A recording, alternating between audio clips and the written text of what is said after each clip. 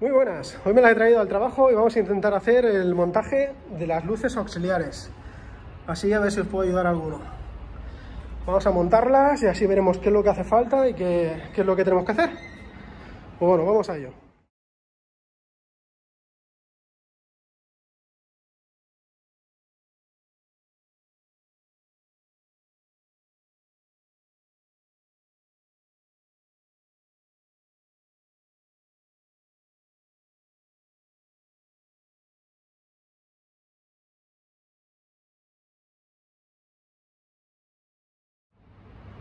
Pues una vez instalado el soporte, tenemos que buscar la posición de donde queremos ponerlo. Lo podemos poner aquí arriba o por aquí abajo. A mí personalmente me gusta más aquí arriba y quedan como protegidos con la defensa. Ahora pondremos el otro y vamos viendo. Y el siguiente paso va a ser pasar los cables por aquí por el hueco motor, cada uno que lo pase por donde él vea. Nosotros lo vamos a pasar por aquí arriba. Por aquí arriba, es pasarlo por aquí abajo y aquí lo tiramos para arriba para robar corriente de los interruptores del mechero de aquí arriba.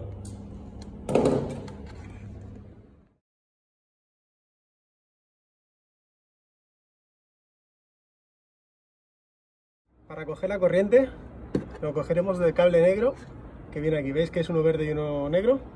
Pues el corriente lo cogeremos ahí, donde va el negro. ¿Veis aquí? Vale, perfecto. Eh, al final no pudimos acabar, acabemos tarde, no pude grabar cómo quedó la moto. Yo os traigo un repasito rápido para que veáis cómo ha quedado. Aquí está la antiniebla, lo hemos embridado todo por aquí abajo, lo hemos metido por aquí arriba y lo hemos sacado por aquí. Lo hemos traído por ahí, por ahí, por ahí, por ahí, por ahí, por ahí. Y aquí arriba lo hemos pasado entre medio de estos dos latiguillos. Por el otro lado, más de lo mismo. Lo hemos embridado, lo hemos metido por aquí, hacia el motor hacia arriba. Con mucha paciencia lo hemos traído por ahí y lo hemos conectado a la toma de 12 del mechero de ahí arriba, que es de 5 amperios. Y las luces estas consumen 3,5 si no recuerdo mal. O sea que va más que sobrado. Podéis ir utilizando el mechero si queréis. Al final, en vez de hacerlo con un roba corrientes, le hemos puesto un feston al cable negro del mechero, acordaros, no el verde, el negro. Le hemos sacado un feston y lo hemos conectado ahí. Aquí lo hemos embridado junto con el fusible.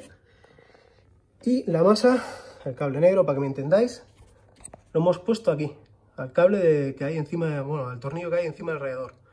Lo hemos puesto ahí, hemos cogido la masa y ya está. Ya ha quedado perfecto.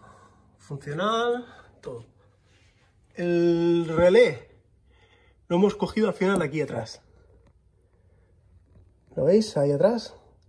Lo habíamos puesto aquí en la horquilla, pero no nos acaba de gustar cómo quedaba. Y entonces lo hemos puesto aquí atrás.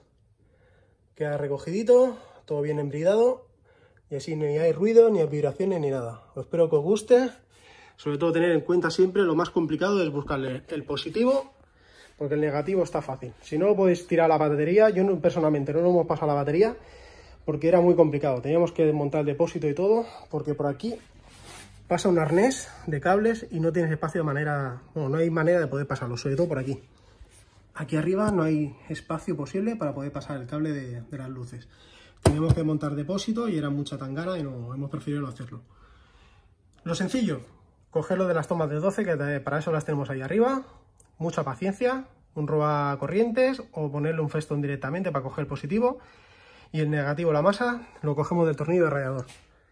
Y ya está ya lo veréis.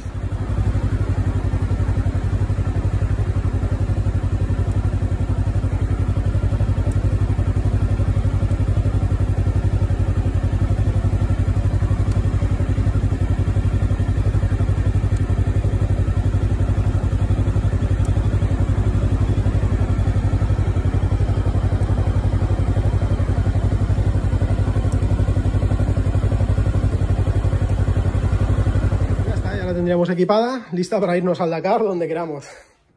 Eh, me hace particularmente mucha ilusión de comentaros que me he apuntado la Rider 1000. Va a ser mi primera Rider, por lo tanto no voy a hacer la, la 1000, voy a hacer la intermedia, voy a hacer la de 500. Iré con la mujer y por eso de ahí estos tutoriales y vídeos de regulación de cadenas, eh, iluminación, las cuneteras. Eh, estaba poniendo la moto a punto más o menos, aunque todavía queda un mes y medio, pero quiero ir probando y ver, encontrarle el punto exacto, todo, a las luces, a las cuneteras, a ver para dónde tienen que alumbrar y todo, rodar un poco por la noche y a ver qué tal. Si alguno va a ir a la Rider y me veis, no dudéis en venir a saludarme o algo, que yo estaré encantado de saludaros a vosotros y compartir impresiones y sensaciones de la moto. ¿Vale? Pues nada, os deseo mucha suerte y salud a todos. Gas, nos vemos en la carretera. Se me olvidaba. Muy importante, cuando recibáis vuestro pack eh, de luces antiniebla, vienen con estos cables. Es para que podáis testear que funcionan correctamente las luces. No vaya a ser de que os peguéis la paliza instalándolo y luego no funcione. Entonces, poner el positivo y negativo en una batería 12 y comprobar que funcionan las luces antes de nada. Después, esto ya será para tirar, ¿eh? eh ya os vendrán con los cables, eh, todo para pasar. Esto simplemente para poder testear o si tenéis una preinstalación hecha en vuestra moto, que sea conectarla a vuestra moto y y no tengáis que pasar cables.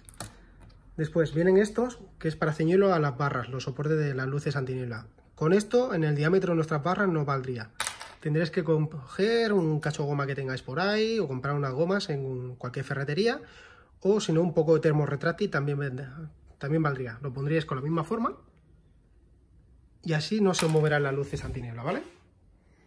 Nada más, era un pequeño apunte. Pues nada, venga, hasta luego.